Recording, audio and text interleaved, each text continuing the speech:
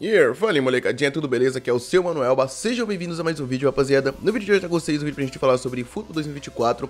Vocês estão percebendo, né, a falta de vídeos aqui do canal, e eu sempre falo pra vocês que eu sempre vou tentar trazer o máximo de vídeos possíveis, né, cara, todos os dias. Só que, é claro, como vocês já imaginam, eu tô focando muito mais no meu canal de São Paulo, no meu canal sobre futebol, lá no TikTok também, se você não me segue nesses outros canais, dá uma olhada lá. Porque a gente é o que a gente tem de conteúdo pra falar, né, rapaziada? A gente não tem nada pra falar sobre futebol, por isso que esse canal acaba ficando sem vídeo. E hoje eu vou trazer pra vocês uma informação, tá, rapaziada? Uma informação que foi disponibilizada pelo Renan Galvani a gente vai debater um pouquinho sobre ela, tá? Que diz muito sobre o futuro do eFootball, tá, rapaziada? Sobre principalmente o porquê, a falta de vídeo e a falta de conteúdo para o jogo, né, cara? Então lembrando, rapaziada, desde o começo aí já deixa o seu like, se inscreve aí no canal pra não perder as próximas notícias, nem as próximas informações e sem perder tempo, vamos nessa.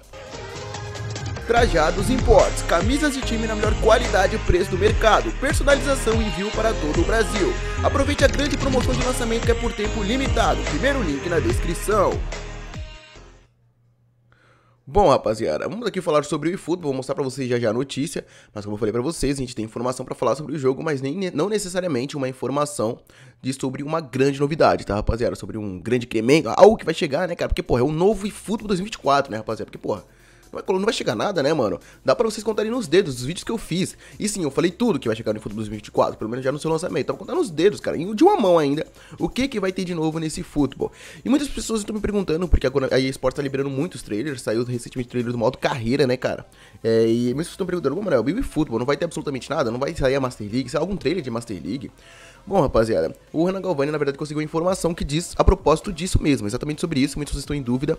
É, bom, será que eles estão é escondendo as novidades para causar um suspense, para liberar uma bomba, ou porque de fato não vai ter nada para liberar, por isso que eles não estão liberando absolutamente nada? Sim, nenhum trailer, sabe que nem um trailer para mostrar um, um, gráfico um pouco diferente, né, cara? Porque se eles liberarem um trailer com essas cenas de gameplay mesmo, que já mostre um, um gráfico 10% melhor, a galera já vai ficar um pouco mais animada, porque a galera não tá esperando nada do jogo, tá esperando 0,1% de novidade no eFootball 2024.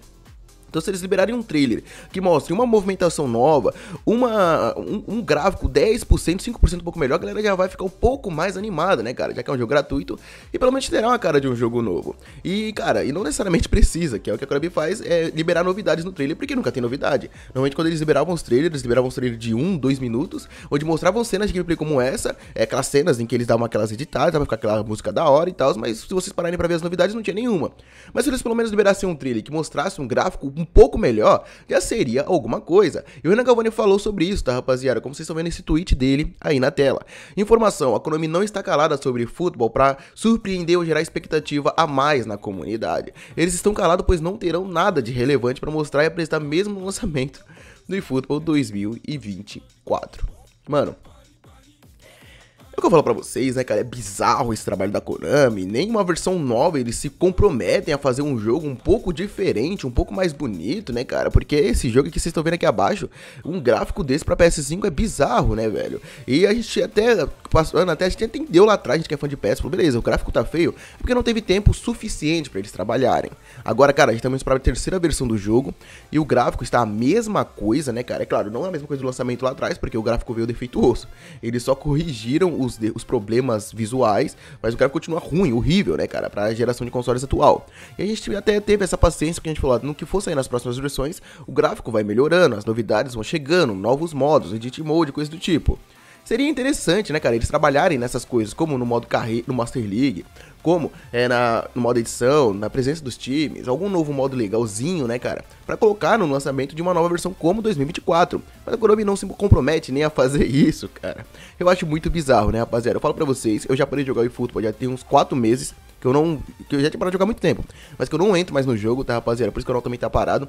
Porque eu não jogo mais. Eu tenho essa expectativa de algum dia o jogo. De algum dia, né? Chegar essa Master League pra eu dar mais uma chance pro jogo.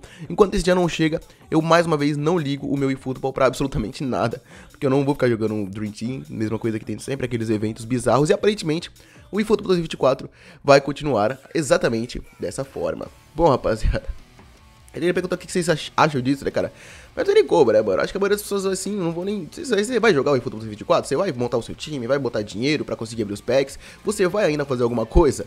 Deixa aqui nos comentários. Eu, sinceramente, não vou mais abrir o jogo. Em 2024, talvez eu abra para fazer uma gameplay pra vocês. Ah, lançou, vamos ver primeiras impressões e tal. Beleza. Mas provavelmente eu não vou jogar o eFootball 2024 mais uma vez, assim como eu não joguei o 2023. E, cara, se algum dia chegar a Master League, talvez eu entre no jogo para dar mais alguma chance. E se mais uma vez eles fazerem esperar tantos anos para chegar a Master League e a Master League ser uma bosta, eu juro pra vocês, abandono o futebol de vez, né, rapaziada? Porque é decepcionante ver que o jogo já era ruim e a gente mesmo assim teve paciência com o jogo, mas o Economy faz o jogo continuar ruim porque eles não fazem o mínimo de vontade, é, o mínimo de boa vontade para conseguir corrigir e melhorar e fazer um jogo legal e divertido para os fãs. Mas o que, que você acha, mano? Deixa nos comentários. Eu por aqui, deixa seu like aí, se inscreve no canal pra perder as próximas notícias. Vamos dar uma focada em outros jogos que estão pra sair daqui pra frente, né, cara?